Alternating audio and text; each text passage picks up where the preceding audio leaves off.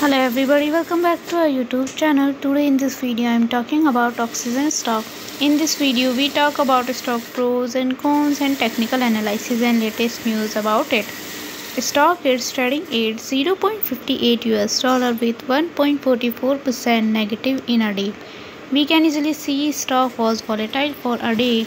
The volume of stock was recently not all time high so the fundamental stock is not better for today before buying and selling the stock, please consult your financial advisor.